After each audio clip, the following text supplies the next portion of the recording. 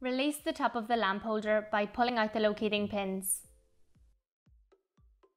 Remove the wires from the lamp holder.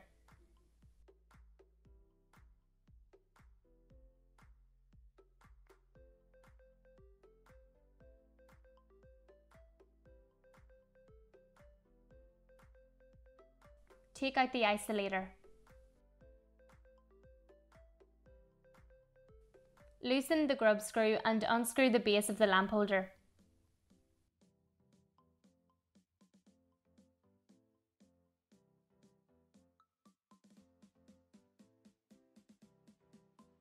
Remove the cap and take the O-ring from the all thread.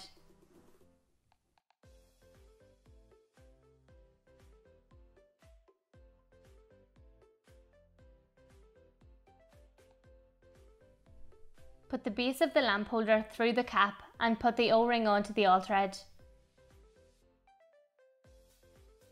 Screw this onto the arm and secure the grub screw.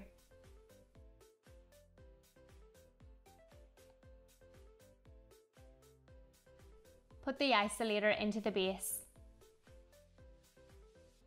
Put the black live wire into the live pin and the white neutral wire into the neutral pin. These are labelled on the lamp holder.